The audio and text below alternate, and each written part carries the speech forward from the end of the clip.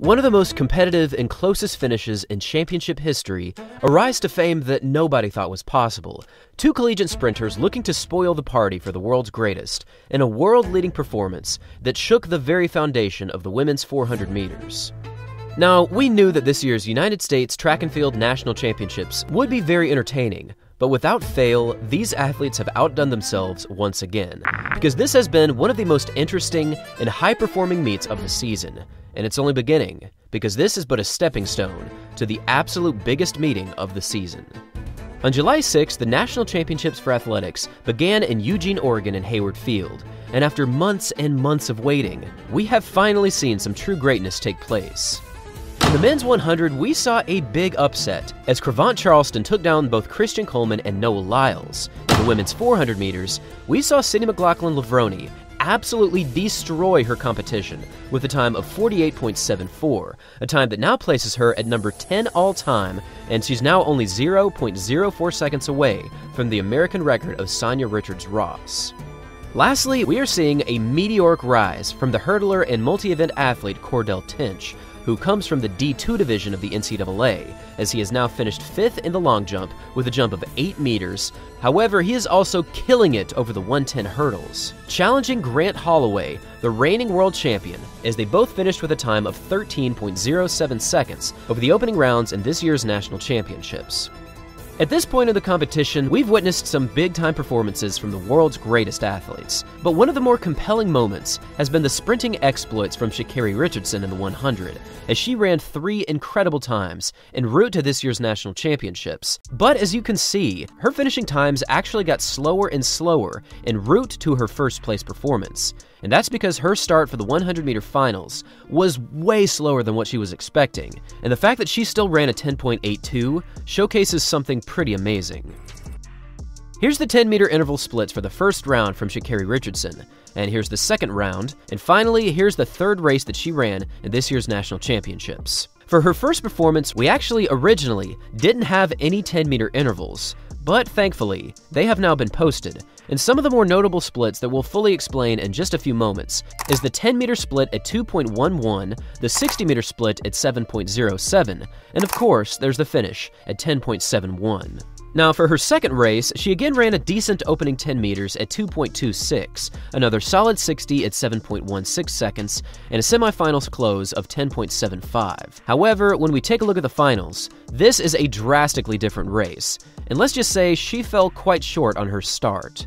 At 10 meters, she achieved a time of 2.36 seconds, which, compared to everyone else in this field, actually put her in dead last. Now, this is a big problem because a start like this could potentially lead to a disaster, and no matter how much you're favored as the victor, you might not even be able to qualify into Worlds with a top 3 finish. This was certainly a big problem at the start. However, with each passing 10 meter interval, she only got closer and closer to the front, and by the 60 meter mark, she was all the way up to third place with a time of 7.16, and with the final 40 meter close of 3.66 seconds, she pulled out a huge come from behind victory to finish in 10.82. Now, in addition to actually closing on the competition, this was a big redemption race for Richardson, as it really puts into perspective how far she has come over the previous two seasons. But given her actual start in this race, it is actually insane that she was able to run a time of 10.82, because this kind of opening 10 meters almost makes it impossible to break the 11 second barrier. However, Richardson is light years away from the average athlete on the track, and when we take a closer look at how she ran this close, the numbers just might leave you speechless. If Sha'Carri had achieved her typical start from the first race and finished with the same speed that she ran in this final, she would have achieved a time. Are you ready for this? Are you actually ready? Of 10.57 seconds, for her first race, her opening 10 meters was reached in 2.11, and for the finals, she was a full quarter of a second slower at 2.36.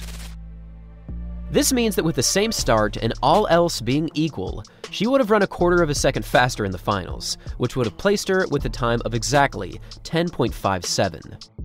Now, this is quite the coincidental finishing time because, as many of you might remember, Sha'Carri actually did achieve a time of exactly 10.57 in this year's Miramar Invitational all the way back for her season opener. But this race was achieved with a very strong tailwind, but it still was a very impressive performance. And given her close here and her poise to stay focused and relaxed and still come back, I think she might be close to 10.6 to 10.65 seconds fitness right now, even under legal conditions.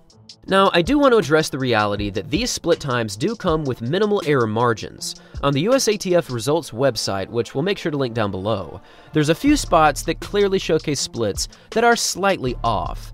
But for the most part, these times do seem pretty accurate, so take them with a grain of salt, and you can also take a closer look if you want to. Now, the prospect of Richardson running under 10.7 is very real at the moment, and she will almost certainly need this kind of speed if she's looking to challenge the new world leader in the 100, Shericka Jackson, who ran a time of 10.65 in the Jamaican Nationals. However, despite her 100 meter domination on the United States scene, she actually did something equally as impressive over in the 200 meters, as she achieved a time of 21.61 seconds. Now, like many of her other performances this year, this time was again achieved with a slightly illegal tailwind at positive 2.6 meters per second. But regardless, this 200 meter dash was a significant improvement on her recent times. Through the opening 100 meters of this race, she split a time of 11.17, which is a very solid showing for the opening 100. But for her final 100 meter split, she ran a time of 10.45 seconds, which is actually one of the fastest final closing 100s in women's 200 meter history. Now, last season we saw Shericka Jackson crush the competition to win the World Championships at 21.45, and for this race, her second half was achieved in 10.41. Now, getting under the 11 second barrier for the second half is already difficult enough, but running under 10.5 is very elite territory. This kind of sprinting strength is quite rare, and it places both Jackson and Richardson as quite possibly the top two fastest 200 and 100 meter athletes in the world right now. And the real exciting prospect from the previous few days is the fact that these two are likely to clash in the World Championships, but they might be clashing in both the 100 and the 200 meter dash. Now, I think that Shericka Jackson is almost unbeatable over the 200. She has been so consistent and so strong over the previous few years, and given her recent 10.65 performance, she might be set to attack the world record, which has stood since 1988 at 21.34. However, the 100 meter dash is possibly Richardson's best opportunity to challenge Shericka Jackson. Again, she ran a very solid opening two rounds, and even though she did falter quite significantly over the opening stages, she still ran a fast time. Obviously, I am very excited about what's been going on in the sprinting scene this season, and with so many great performances going down, I would love to hear from all of you. What do you think is going to happen in this year's World Championships from Shericka Jackson and Sha'Carri Richardson? And also, what times do you expect to see over the next few weeks from both of these athletes? Thanks for watching, everyone, and as always, until next time.